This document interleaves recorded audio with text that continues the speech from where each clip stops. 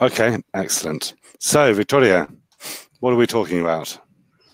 We're talking about listening at C1 and C2. And in this webinar, we're going to be looking at abilities and tasks at C1 and C2. We are also going to try to give ideas to develop your students' skills. And finally, uh, we will also try to give, hopefully, practical ideas to use in class.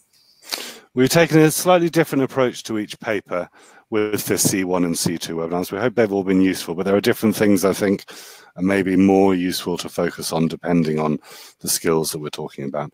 Um, we have speaking left on Friday. Um, so we'll see how we get on with that. But for now, we've said this at the beginning of our other C1 and C2 sessions. We think this is important. Um, all of these three areas are important at these high levels. Um, I think in class um, activities and maybe for homework, but definitely, definitely activities that you um, you ask your your students to do in class. I think integrating skills as far as possible is not only useful. I think each skill benefits from from another. It's also um, it's the most natural way that we that we use language anyway. So um, we'll be looking at ways to approach the different listening tasks throughout this, but also with lead-in and follow-up activities and different ways to approach them, which integrate other skills as well. Also, Victoria? Yeah, um, skills integration allows for um, richer discussions and also the learning, as you said, is more natural and, and authentic, and we can use the material more effectively. And um, also, students at these levels uh, should hopefully have become more autonomous, and the teacher here is going to be more um, a guide, a facilitator, rather than um, like a, a teacher and helping a lot. Yeah. Exactly. Yeah. Sort of pouring your knowledge into your students yeah. um, and the more traditional view of teachers. Um, so again, as we have in the previous sessions, we'll have a quick look at the difference between C1 and C2. Um, C2, Victoria? Yes, um, they can basically do everything. They have no difficulty in understanding any kind of spoken language whether live or broadcast, and uh, which is delivered at fast native speed. Whoa! So good luck. Um, anything you hear anywhere at any time in any place, mm -hmm. you mm-hmm. should be able to understand. Um, C1 can understand enough to follow extended speech on abstract and complex topics between his or her own field, although she may, he or she may need to confirm occasional details, especially if the accent is unfamiliar. There's always that still at C1, there's still a caveat. Um, moving on, recognizing a wide range of idiomatic expressions, colloquialisms, and appreciating shifts in register. And then lastly, Victoria? Yeah, they can follow extended speech, even when it is not clearly structured and when relationships are only implied and not signaled explicitly. Looking more specifically at the CFR descriptors for, um, for C2 and C1, uh, in work can handle complex, delicate, or contentious issues, legal, financial matters. So again, looking at um, detail in context, looking at implications in context. Um, C1, Victoria? Yeah, they can follow discussion and argument with only occasional need for clarification, employing good compensation strategies to overcome ina inadequacies. Oh, it's a tricky one. Was, oh, yeah, I was looking forward to that, but well done, well done.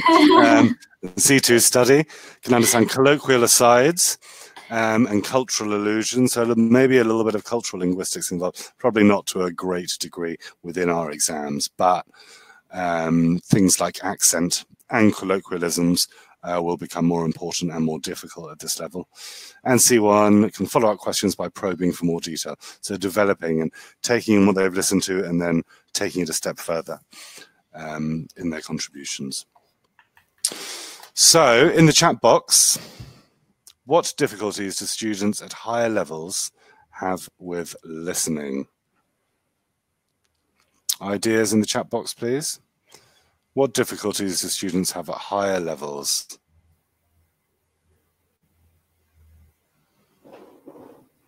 with listening.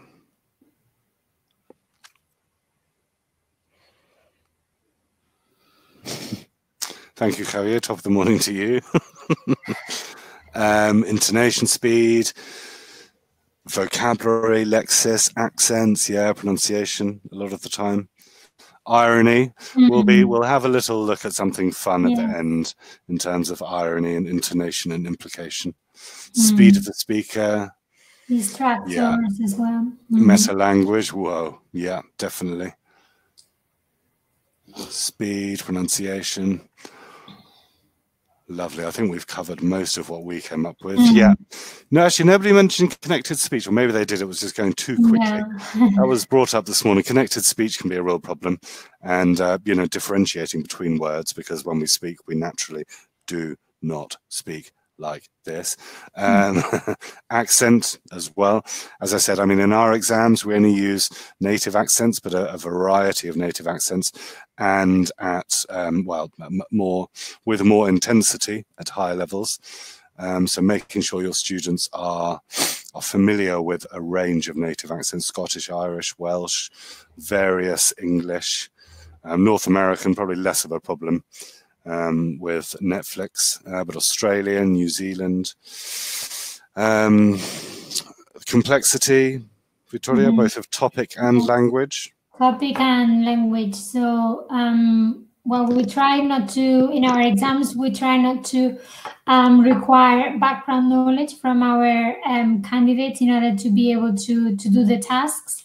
But uh, this becomes more and more challenging at higher levels, but also um, complexity in terms of the of the language used as we've seen vocabulary and grammar structures become more challenging yeah and someone has just written Scottish is horrible, so I'm going to defend that.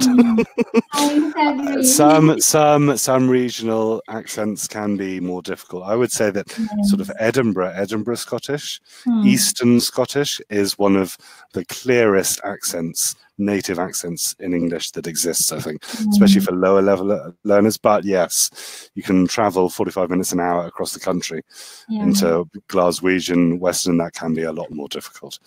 um, sorry, sorry, I thought it was a sweeping generalization saying that Scottish is horrible.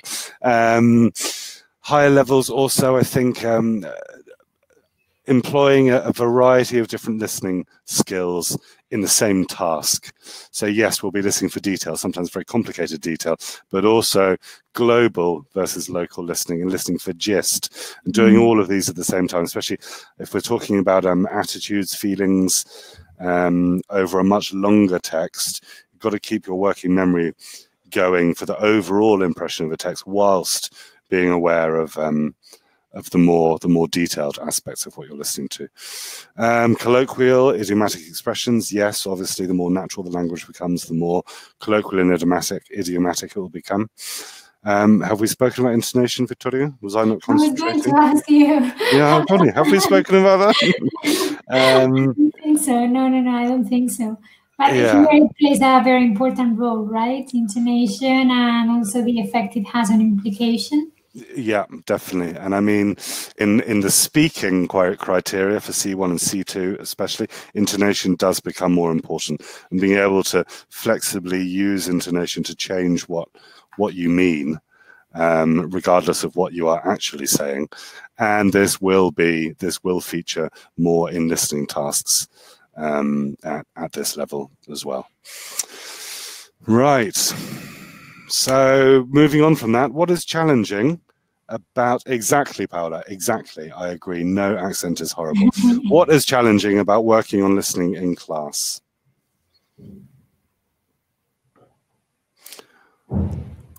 For you, what's challenging in a class situation about working on listening?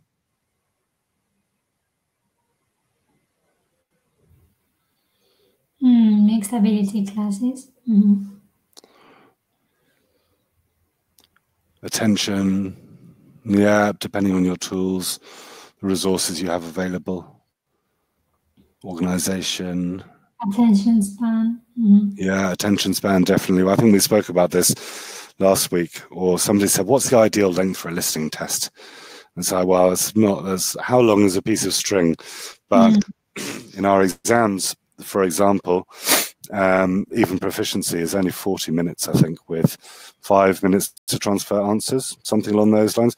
Listening is very, it's, it's, it's, it's hard work in another language. Um, it's quite stressful. I mean, an exam is even more stressful and it is very tiring. So you've got to choose your activities carefully and bear that in mind. I think David said this morning that research has shown there's a lot more brain activity going on when you're listening to a second language than a first language. So you've got to factor the attention and tire the, the tiredness aspect into into what you're doing in a test or in class. Mm. Um, we came up with well, Victoria, limitations. Yeah, uh, limitations in terms of the material that can be used in class. Um, they need to be um, appropriate uh, for the level, also in terms like for the school context, and also uh, whether you can use video or only audio.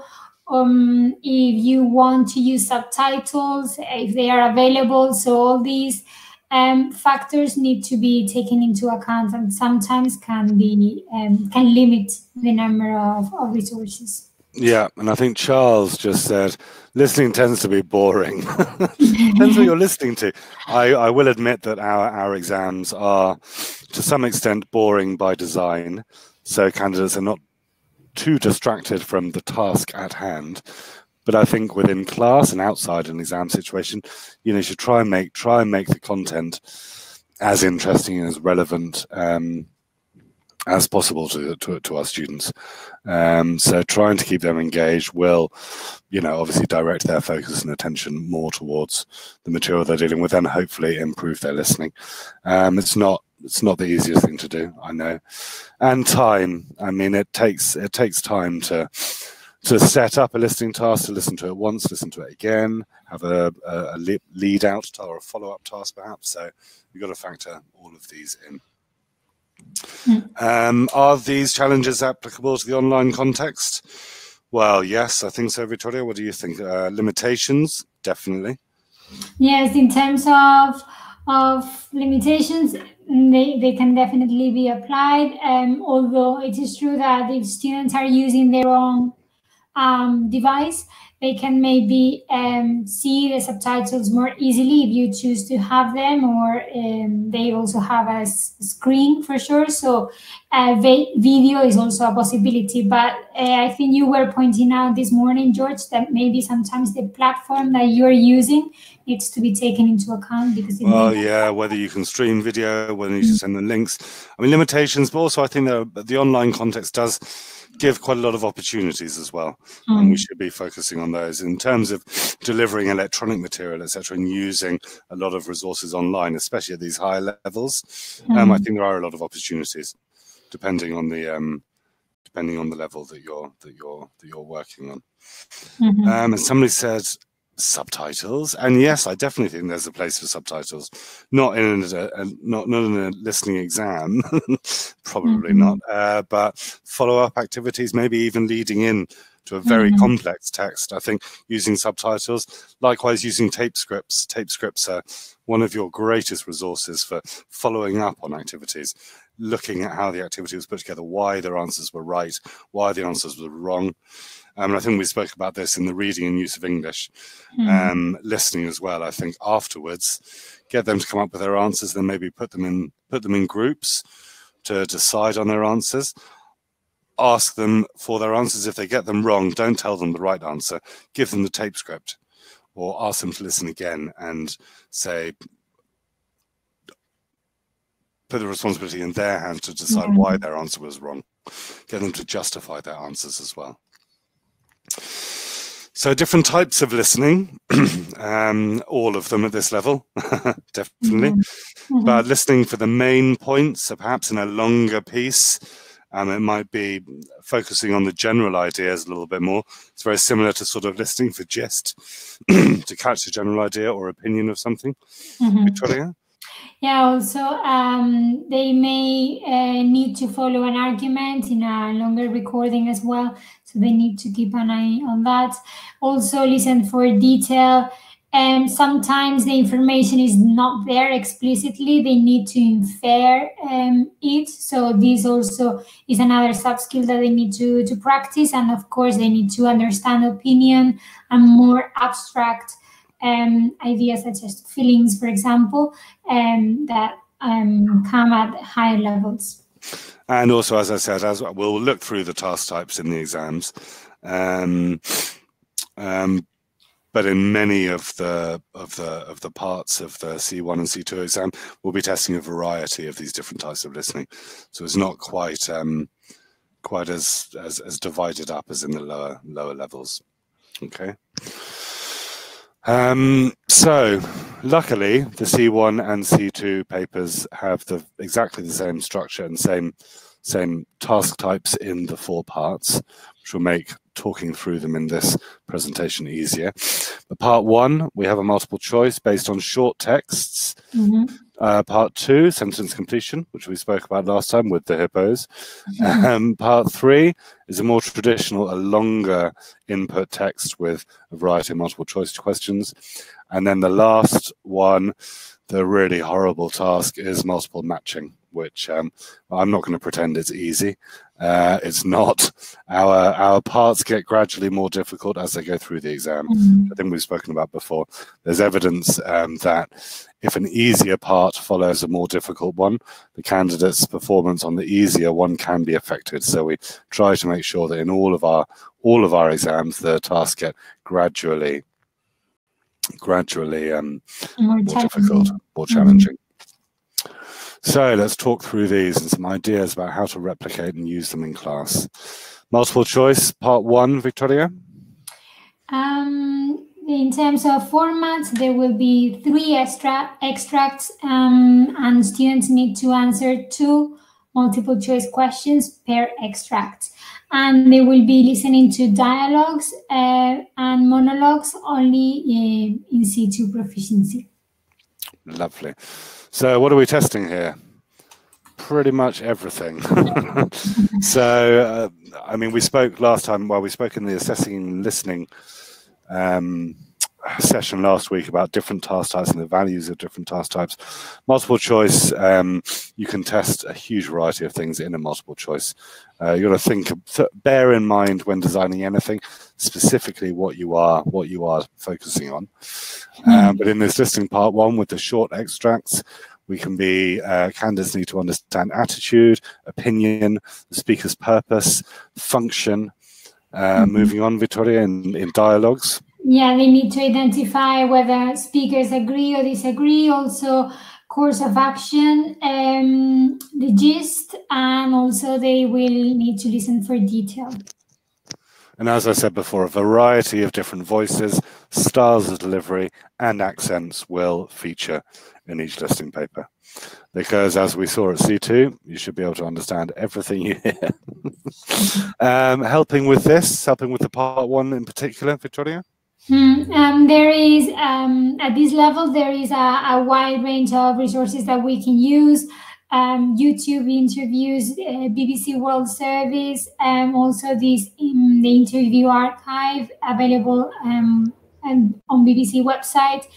And also um, CNN, I think ABC was mentioned this morning for Australian accent. So there are a lot of options there, but you can also use classroom discussion activities um, to practice listening, as we will see later on.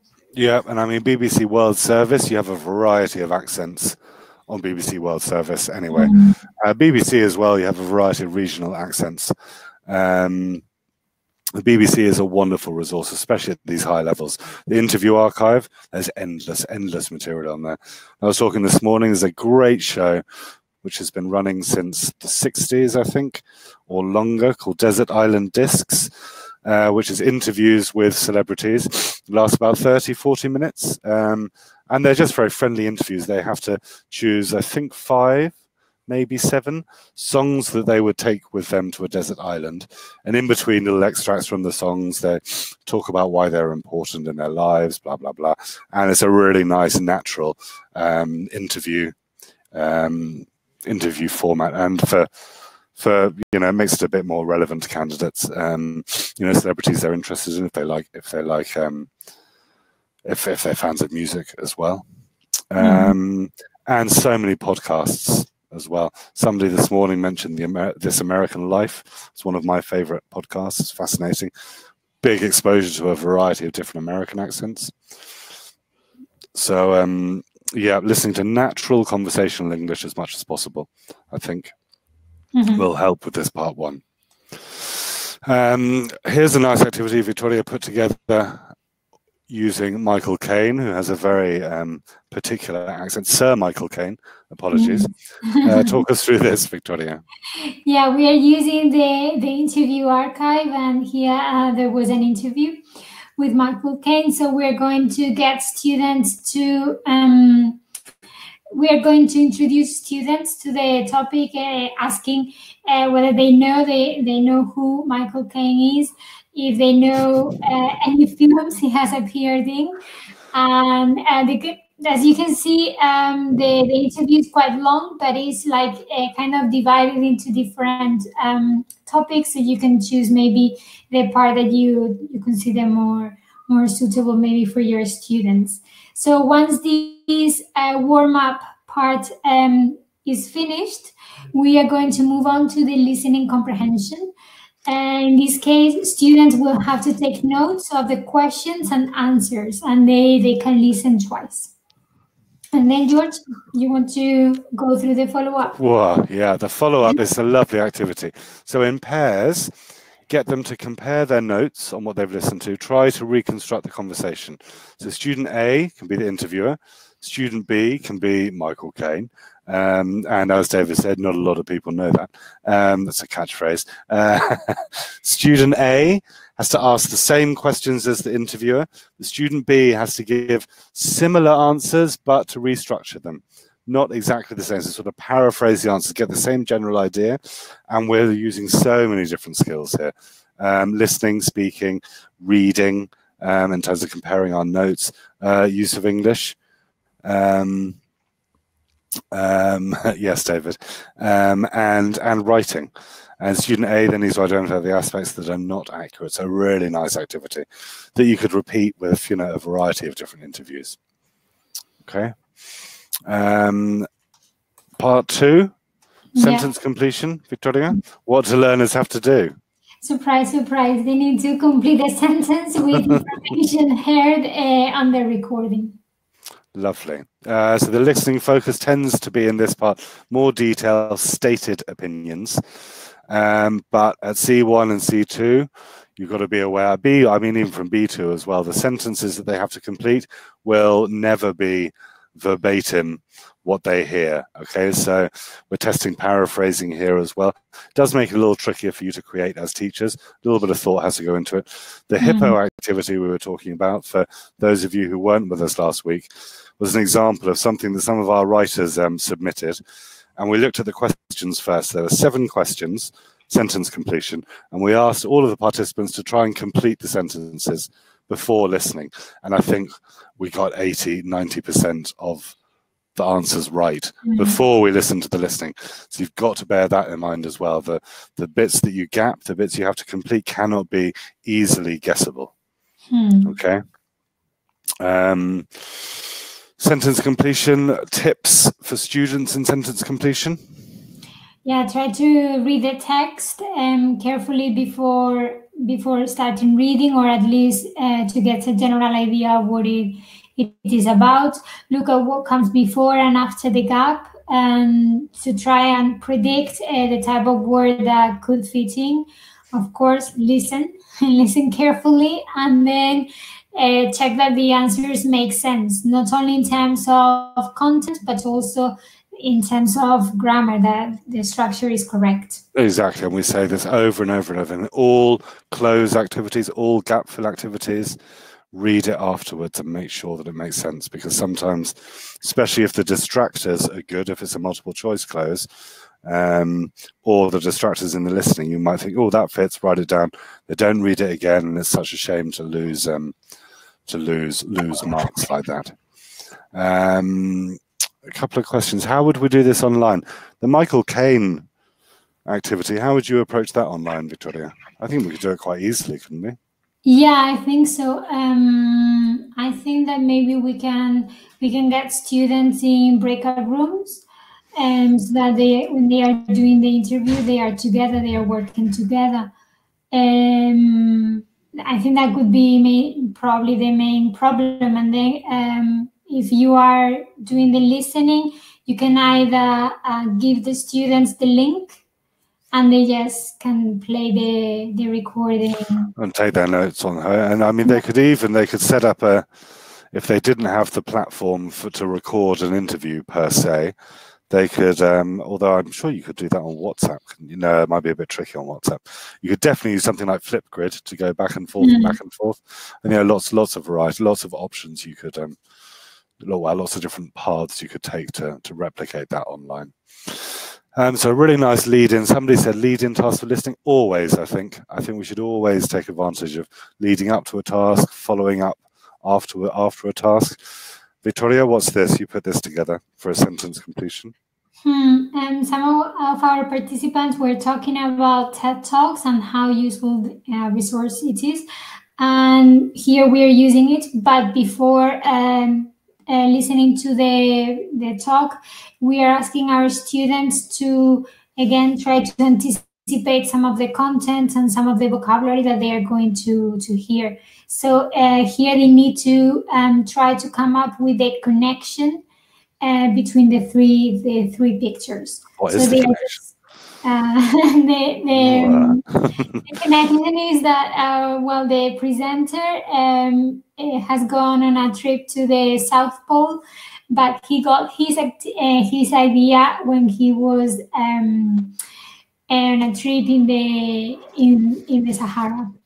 Ah, the sahara not the sahara yeah the sahara not the sahara desert the sahara yeah. which is the second biggest desert in the world Mm. Because Antarctica is the biggest desert in the world, I think. Anyway, um, yes, you all mentioned TED, TED, TED, TED, TED. TED is an amazing resource for all of you, and there's so much interesting stuff on there. So you can really try and find stuff that that that interests your students. And a lot of the TED talks also have um, tape scripts with them, which makes mm. life easier to, for you if you're doing a gap fill. And again, um, following up. Um, Yes, in this uh, case. Following up afterwards using tape scripts. In this case, we were using TapeScript for the main uh, listening comprehension activity. Uh, we use the, the script um, to, we paraphrase the, the script um, so that students were not reading exactly what they were listening to, but then they had to, as in the exam, they had to fill in the, the gaps with exactly what they were hearing. Um, yes. And no, somebody said no, there's no lead in in an exam. No, but as we're preparing them for the exam, I think using nice lead in tasks um, works very well. Okay. Is there a follow up activity for this, Victoria? Oh, yes, there is. Talk us through. Yeah, um, the follow up, they need um, students need to imagine that they could interview the presenter and uh, they need to think about questions that they would like to ask him. So in this case, they are going to work in pairs. They are going to compare their, their questions and do a role play. One of them is going to, be the interviewer asking the questions, and student B is going to be Ray. And they have to, student B is going just to imagine what he would say. So based on the on the contents of the video, probably. Exactly, and all of the things we've looked at so far, integrating skills. And as we said at the beginning, we think at this level, you know, there's no reason not to integrate skills um, as much as possible in class. I think. Um, mm-hmm. Oh, do you want to answer Maria, Victoria, about leading, leading, leading activities? Where is it? Uh, about uh, well, just about you know, are, are they that useful because they don't have them in the exam? Mm, well, we are trying to, of course, they don't have it in the exam, but what the idea is that they try to use this prediction and that it becomes automatic uh, to start uh, predicting or trying to anticipate what, what will come the day of the exam or in general.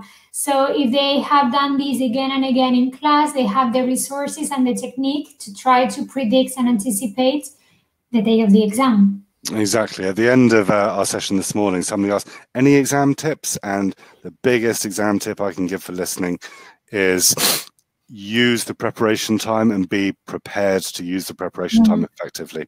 Um, they do get preparation time. They need to really use that as well as possible. And doing this in class hopefully helps helps automate that or helps get them used to doing that and helps them predict, get ready to what they should be should be listening for. Okay. Thank you, David. There's David's much more official answer. Um, moving on to the part three.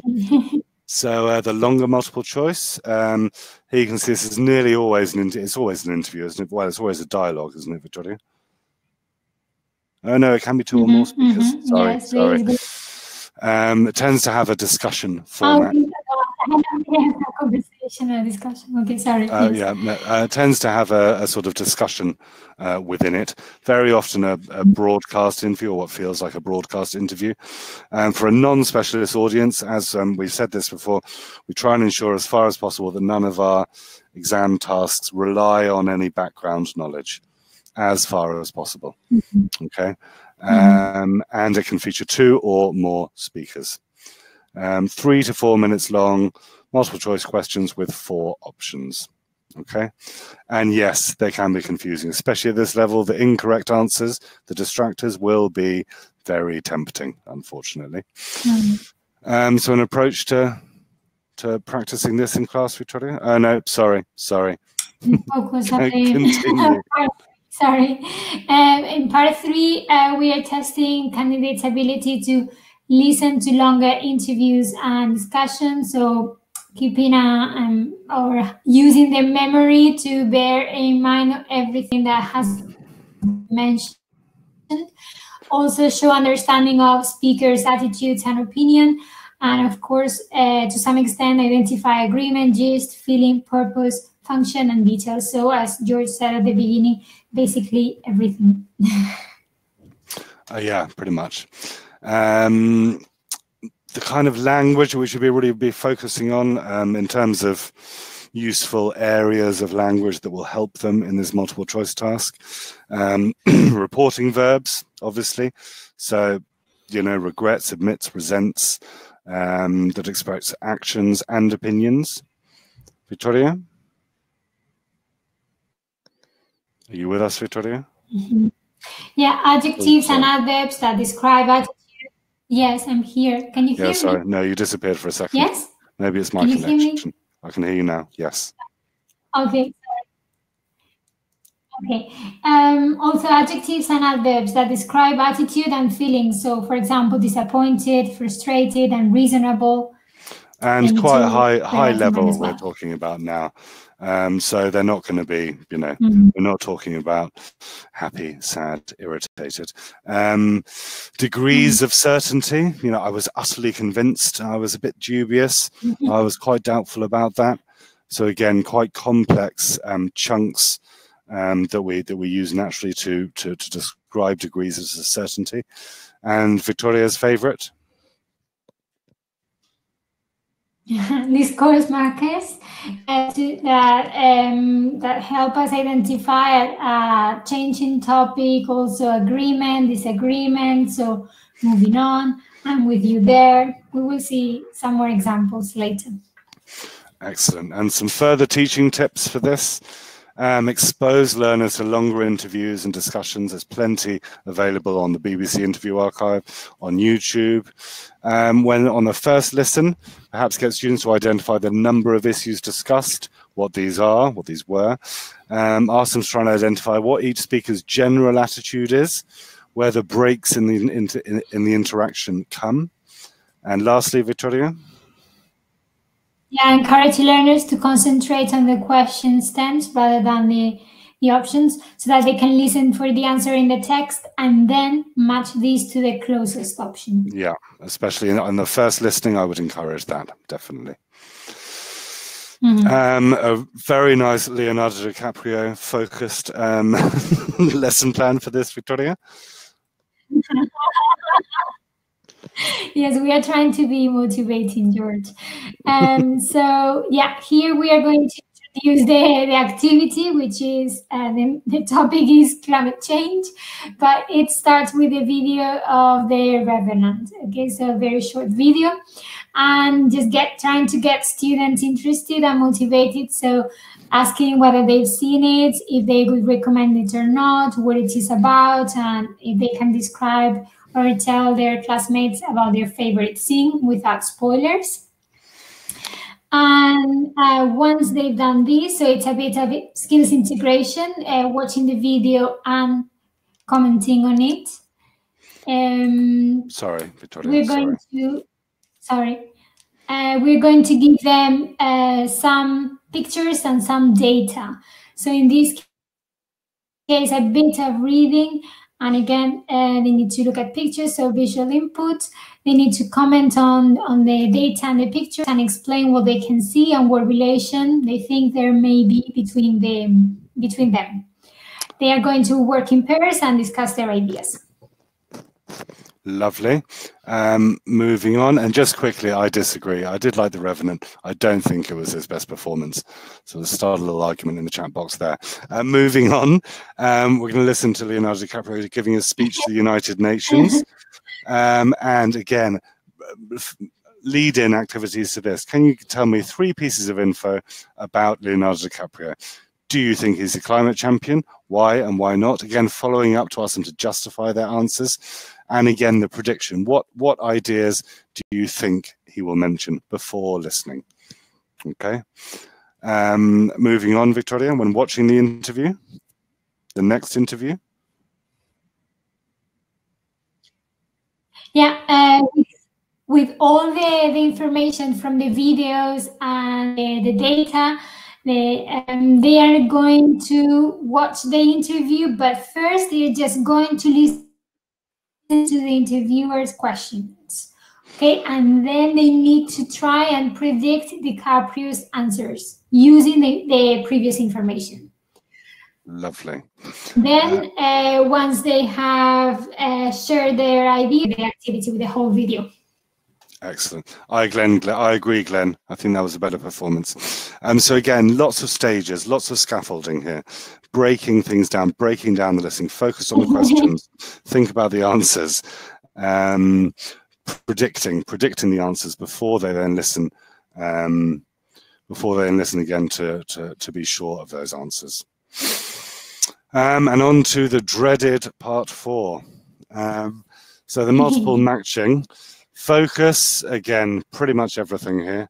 Uh, gist, attitude and opinion, main points, speaker purpose, speaker's feelings, um, to some extent trying to interpret the context. Um, and what makes it really tricky, I think, is the format, Victoria. Want to talk us through that?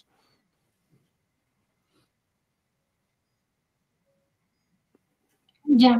Hmm. They are going to listen to five short themed topic they are about 30 seconds long each, and they need to select the, the correct option from a list of eight.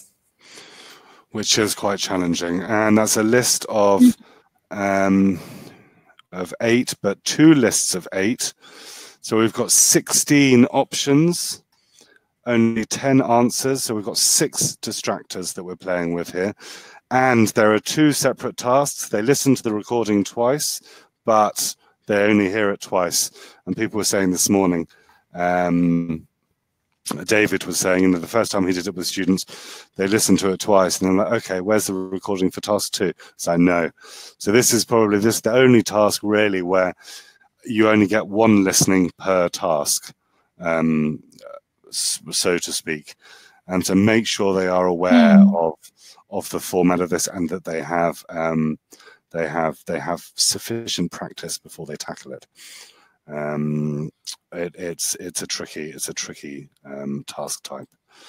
Um, tips for this: remind them, uh, remind your learners that the monologues are linked thematically. They're linked, um, and get them to think about the theme of the texts and the kinds of attitudes and opinions that they should expect to hear on that topic.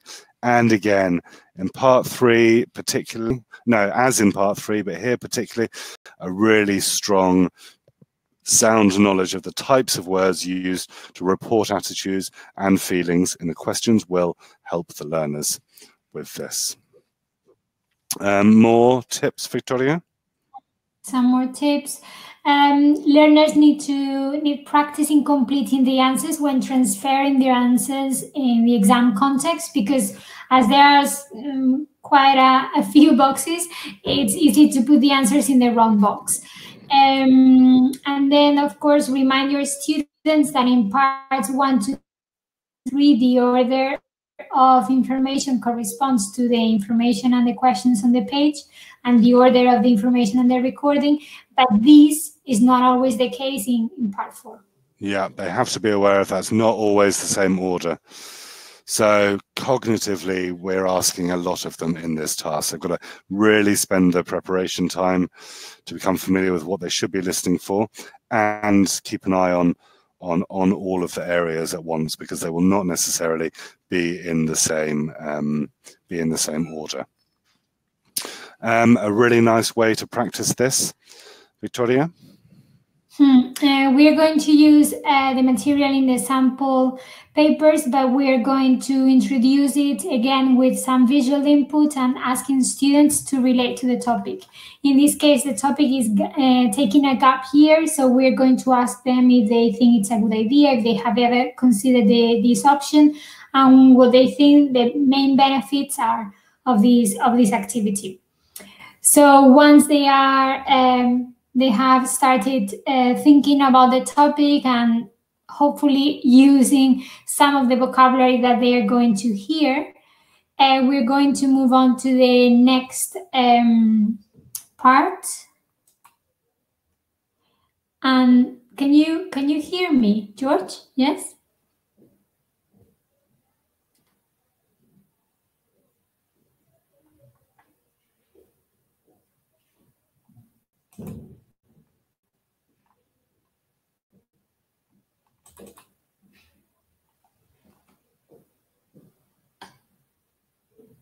Okay.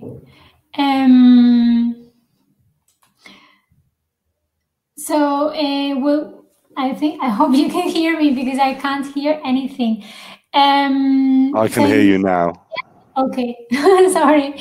Um, so in this case, what we're going to do is we're going to use the, the script available in the sample papers. So students are going to uh, be reading the script for the different speakers at normal speed while the rest of the class take notes. And then students work in pairs and compare their notes. They can listen again. And then as a whole group, they reflect on the key aspects of the message. In this case, uh, it's going to be what the speaker did during the gap year and the benefits they obtained. These are the two tasks in the in the activity. And of course, they also need to uh, reflect on the language and how it is used to convey meaning.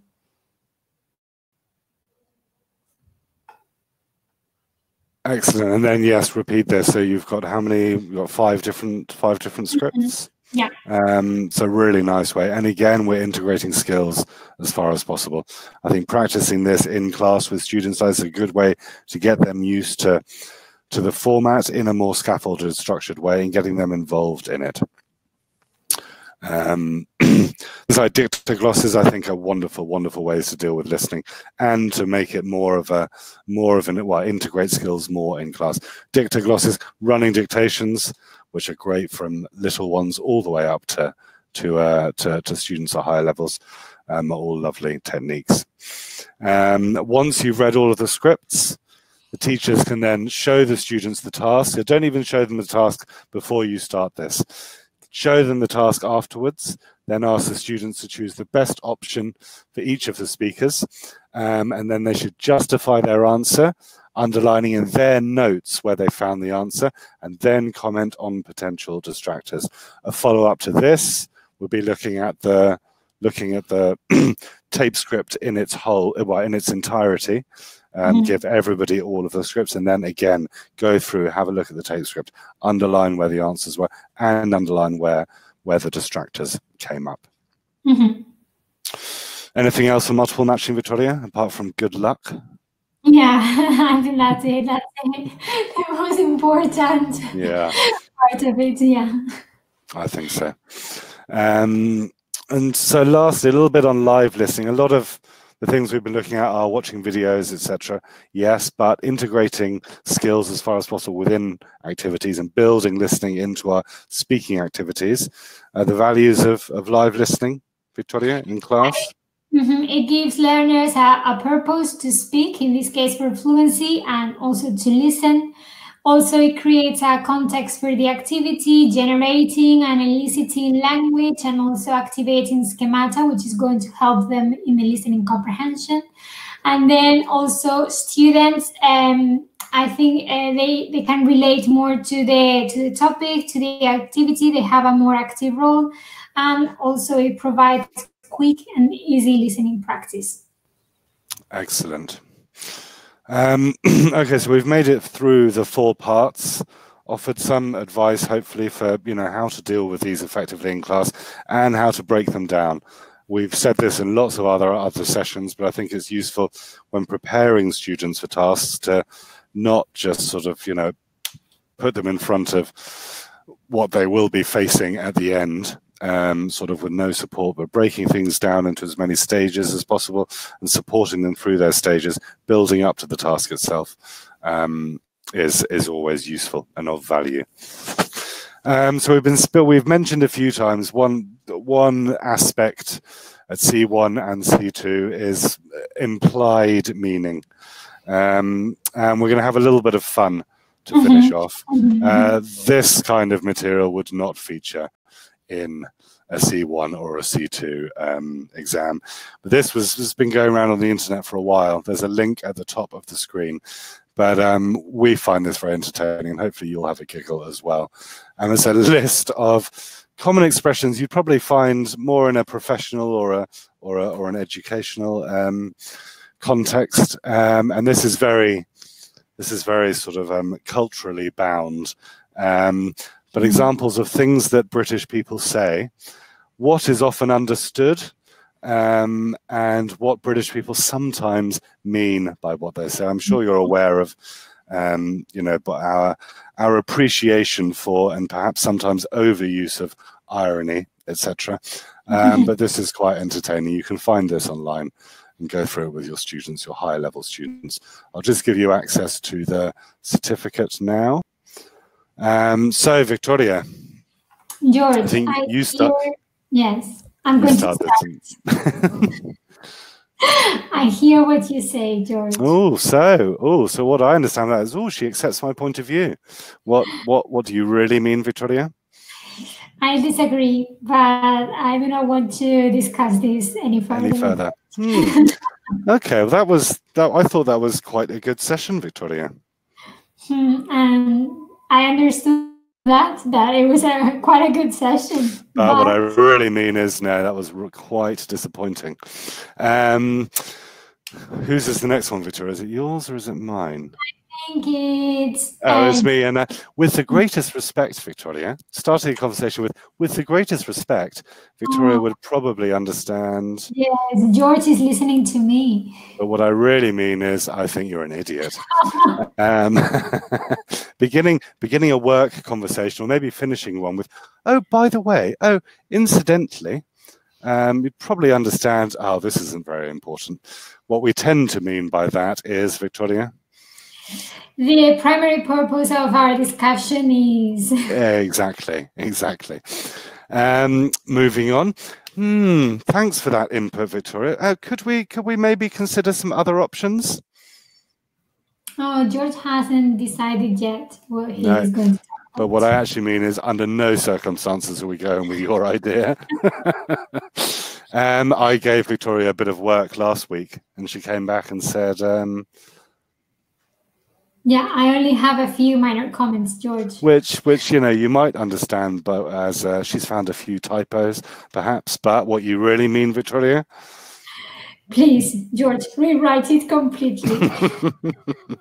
um, and Victoria had an idea for a webinar last week, Uh, so I said, "Oh, that's a very brave proposal, Victoria."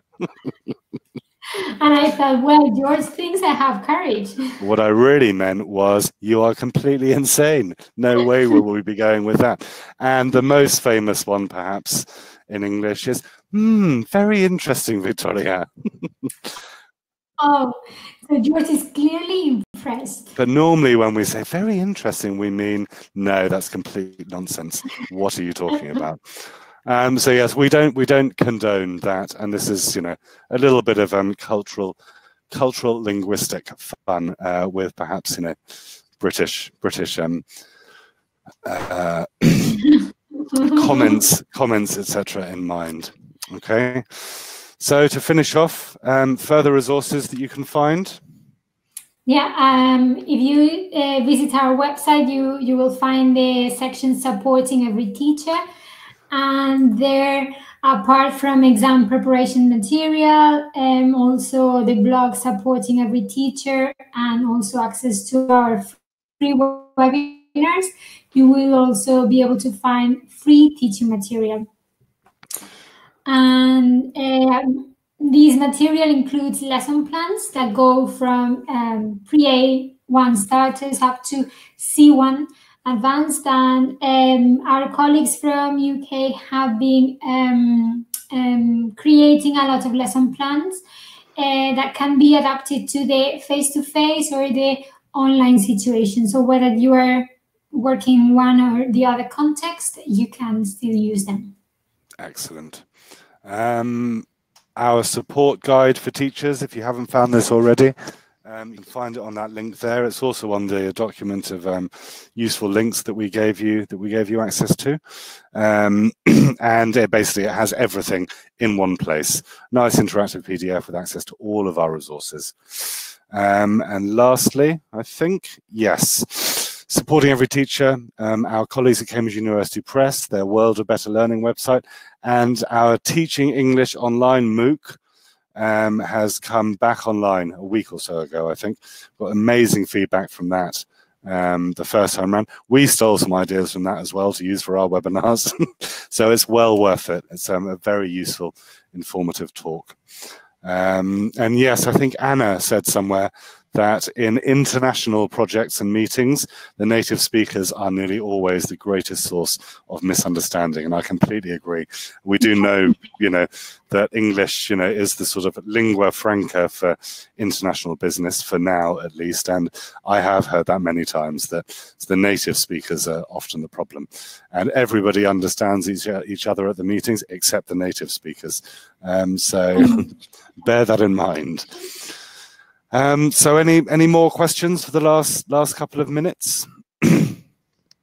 Before we finish, all of the links that we showed are available in the useful links document. Okay, uh, which I gave you access to. I'll give you access again. Stop sharing share and to the certificate. Um, any problems with certificates, please email us. We do have a little bit of a backlog of emails which we're trying to get through. We will over the next week or so, week or two. Um, and also all of our webinars go up on YouTube and you can download the slides and handouts once they're up there on YouTube. So this one will probably be up end of this week, beginning of next week. Um, and on Friday, we will be doing the last in our C1 and C2 series, which will be looking at speaking at C1 and C2. Mm -hmm. So we hope to see lots of you there on Friday. Um, if you haven't signed mm -hmm. up mm-hmm. already, go to go to the global website.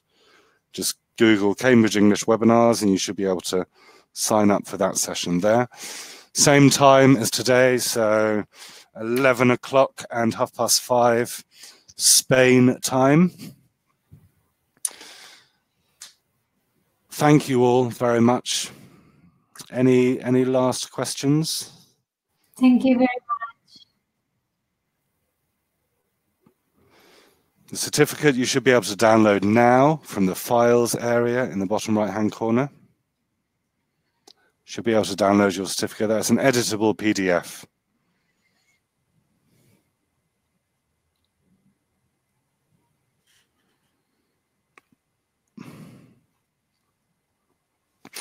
Okay, well, thank you all very much for coming along once again, and we hope to see you on Friday. Um, have a lovely Wednesday evening and a successful Thursday, and we'll see you on Friday. Okay. Bye. Thank you Friday. all. Bye Thank bye. you. Thank you.